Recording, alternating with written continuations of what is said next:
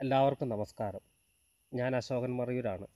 മലയാളത്തിലും ഗോത്രഭാഷകളിലും കവിതകൾ എഴുതാറുണ്ട്. കോഴിക്കോട് ചേന്ദമംഗലൂർ ഹയർ സെക്കൻഡറി മലയാളം വിദ്യാർത്ഥികളോടാണ് ഞാനിന്ന് സംസാരിക്കുന്നത്. ഗോത്രഭാഷകളിലെ വൈവിധ്യം എന്ന വിഷയമാണ് നമ്മളിന്ന് ചർച്ച ചെയ്യുന്നത്.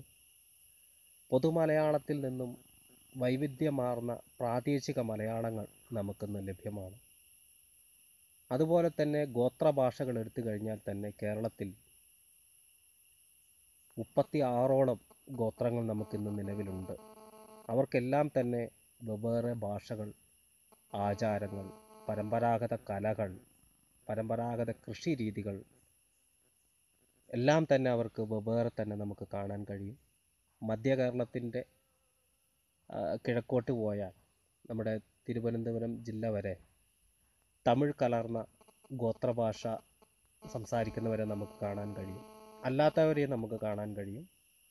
മലയാളം കലർന്നുള്ള ഗോത്രഭാഷകൾ സംസാരിക്കുന്ന ആളുകളെ കാണാൻ കഴിയും.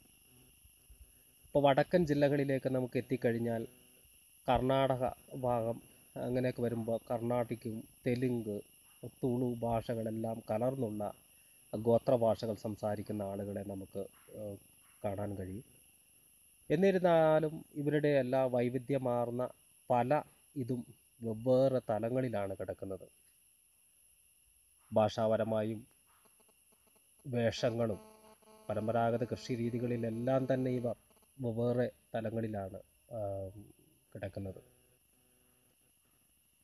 കേരളത്തിൽ ഇന്ന് നമ്മൾ കാണുന്ന എല്ലാ ഗോത്രങ്ങൾക്കും അവരുടേതായ പല പൂർവികതകൾ അവർ ആർജിച്ചെടുത്ത ഒരുപിടി അറിവുകൾ അവർക്കുണ്ട്. നിങ്ങൾ ഹയർ സെക്കൻഡറി വിദ്യാർത്ഥികളാണല്ലോ സുബോളജി ബോട്ടണി ഒക്കെ നിങ്ങൾ ഇന്ന് പഠിക്കുന്നുണ്ടാവും. മലയാളം മീഡിയം കുട്ടികൾ കലകൾ പാട്ടുകൾ നാടൻ പാട്ടുകൾ അതുപോലെ പല വിഷയങ്ങളും മലയാള വിദ്യാർത്ഥികളും പഠിക്കുന്നുണ്ടാകും ഇതെല്ലാം ഗോത്ര ജീവിതവുമായി എങ്ങനെ നമുക്ക് ബന്ധപ്പെട്ട് കിടക്കുന്നു എന്നാണ് നമ്മൾ നോക്കുന്നത്. വിദ്യാർത്ഥികളായതുകൊണ്ടാണ്. ഇപ്പോൾ സുവോളജി തന്നെ നമ്മൾ എടുത്തു കഴിഞ്ഞാൽ പലതരം കണ്ടെത്തലുകൾ നമുക്ക് ഗോത്ര സമൂഹങ്ങൾക്കിടയിൽ കണ്ടെത്താൻ കഴിയും. ഒരേ തരത്തിലുള്ള ഒരേ വർഗത്തിൽപ്പെട്ട സൂക്ഷ്മജീവികൾക്കെല്ലാം. ഒരു പേര് കേൾക്കുമ്പോൾ തന്നെ ഇന്ന വർഗത്തിൽപ്പെട്ട ഇനത്തിൽപ്പെട്ട ജീവിയാണ് എന്ന് തിരിച്ചറിയുന്ന രീതിയിൽ ഉള്ള പേരുകൾ. ഒരേ വർഗത്തിൽ ഒരേ ഇനത്തിൽപ്പെട്ട മീനുകൾക്ക് ഒരേ തരത്തിലുള്ള പേരുകൾ. മൃഗങ്ങൾക്കിടയിൽ ഒരേ വർഗത്തിൽപ്പെട്ട ഇപ്പം കേഴ കേഴമാൻ കലമാൻ പുള്ളിമാൻ ചരുകുമാൻ എന്നൊക്കെ പറയുന്ന രീതിയിൽ തരം തിരിച്ചിങ്ങനെ വരുന്ന രീതിയിൽ ഇന്ന വർഗത്തിൽപ്പെട്ട മാനാണ്. ഇപ്പം കടുവക കടുവയിൽ തന്നെ മൂന്നോ നാലോ തരത്തിലുള്ള കടുവകളുടെ പേര്. അങ്ങനെ ഗോത്ര സമൂഹങ്ങൾക്കിടയിലും അവർ ഇതൊക്കെ തരംതിരിക്കാനും കണ്ടെത്താനും ഒരുപാട് കാലങ്ങൾക്ക് മുമ്പ് തന്നെ പരമ്പരാഗതമായി അവർ ഇങ്ങനെ കൈമാറി വരുന്നുണ്ട്. ബോട്ടണി എടുത്താൽ തന്നെ പല ചെടികൾക്കും കൊടികൾക്കുമെല്ലാം പൂക്കൾക്കും മരങ്ങൾക്കും എല്ലാം തന്നെ അവർ ഒരേ ഇനത്തിൽ ഒരേ വർഗത്തിൽപ്പെട്ട പൂക്കൾക്കും ചെടികൾക്കും കൊടികൾക്കും മരങ്ങൾക്കുമെല്ലാം ഒരു പേര് കേൾക്കുമ്പോൾ തന്നെ ഇപ്പോൾ ഞാവൽ മരത്തിൽ തന്നെ ഒരു ആറ് ഏഴ് ഞാവൽ മരങ്ങൾ തന്നെയുണ്ട്. അപ്പം ഞാവലിന്റെ പേര് വരുന്ന രീതിയിൽ ഇപ്പം ഞാവൽ എന്ന് പറയുന്നത് സാധാരണ നമ്മൾ പറയുന്നതാണ് ഞാവൽ മരം. ഇപ്പം കുരുത്താൽ എന്ന് പറയും.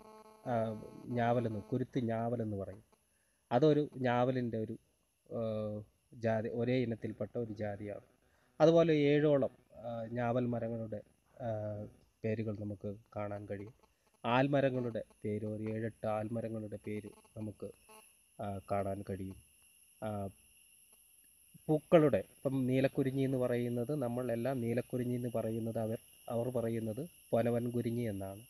ഉൾവനങ്ങളിൽ ഏഴെട്ടോളം നീലക്കുരിഞ്ഞികൾ മൂന്ന് മാസം ഇടവിട്ടും മഴക്കാലത്തും ഒരു വർഷത്തിന്റെ ഇടയ്ക്കും ആറ് മാ ആറ് ആറ് വർഷങ്ങളെടുത്ത് മൂന്ന് വർഷം ഒക്കെ എടുത്ത് പൂക്കുന്ന പല തരത്തിലുള്ള കുരിഞ്ഞികൾക്കെല്ലാം പല തരത്തിലുള്ള പേരാണ്. ഇപ്പം മുടക്കം കുരിഞ്ഞി എന്ന് പറയും കലമാൻ കുരിഞ്ഞി എന്ന് പറയും ഇപ്പം നമ്മൾ പറയുന്നത് പൊനവൻ കുരു കുരുങ്ങി എന്ന് പറയും. ഇങ്ങനെ പോകുന്ന പല തരത്തിലുള്ള പേരുകൾ അവർ ഒരേ വർഗം ഇനം തിരിക്കാൻ വേണ്ടി അവർ ചെയ്തു വെച്ചതൊക്കെയുണ്ട് അതുപോലെ തന്നെ അവരുടെ പാരമ്പര്യ പാട്ടുകൾ കലകൾ ഇത് ഇതെല്ലാം തന്നെ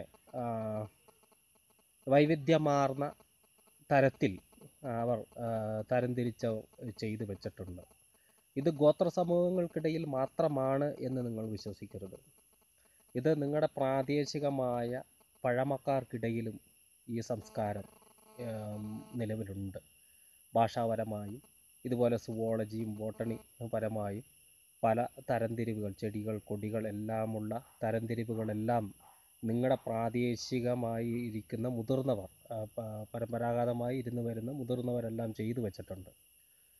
അവരോടെല്ലാം നിങ്ങൾക്ക് ഈ ഈ കാര്യങ്ങളെല്ലാം ചെന്ന് അന്വേഷിക്കാം മനസ്സിലാക്കാം. നിങ്ങളുടെ പ്രദേശത്തെ കൃഷി രീതികളെക്കുറിച്ച് കൃഷി ഇനങ്ങളെക്കുറിച്ച് വൈവിധ്യമാർന്ന പേരുകളെക്കുറിച്ച് പരമ്പരാഗത പേരുകളെക്കുറിച്ച് പുതിയ പേരുകളെക്കുറിച്ച് നിങ്ങളുടെ ചുറ്റുപാടുള്ളവരോട് തന്നെ എല്ലാം മനസ്സിലാക്കാം. ഇത് ഗോത്ര സമൂഹങ്ങളിൽ മാത്രമാണ് എന്ന് നിങ്ങൾ കരുതണ്ട.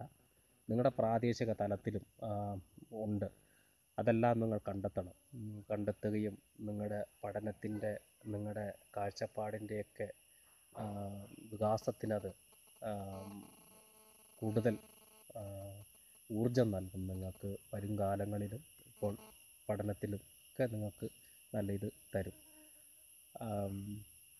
ഈ വീഡിയോ ചെയ്യാൻ വേണ്ടിയും നിങ്ങളോട് സംസാരിക്കാൻ വേണ്ടിയും ചെയ്ത നിങ്ങളുടെ മലയാളം അധ്യാപകന് എനിക്ക് ആദ്യത്തെ ഒരു നന്ദി പറഞ്ഞുകൊള്ളട്ടെ ഇത് കണ്ടുകൊണ്ടിരിക്കുന്ന വിദ്യാർത്ഥികൾക്ക് എന്റെ ഹൃദയത്തിൽ നിറഞ്ഞ നന്ദി പറഞ്ഞു പറഞ്ഞുകൊള്ളട്ടെ അതുപോലെ മാതാപിതാക്കൾക്കും മറ്റും മറ്റുള്ളവർ കാണുന്നവർക്കെല്ലാം എന്റെ ഹൃദയത്തിൽ സ്നേഹവും നന്ദിയും പറഞ്ഞുകൊണ്ട് ഞാൻ നിർത്തുന്നു.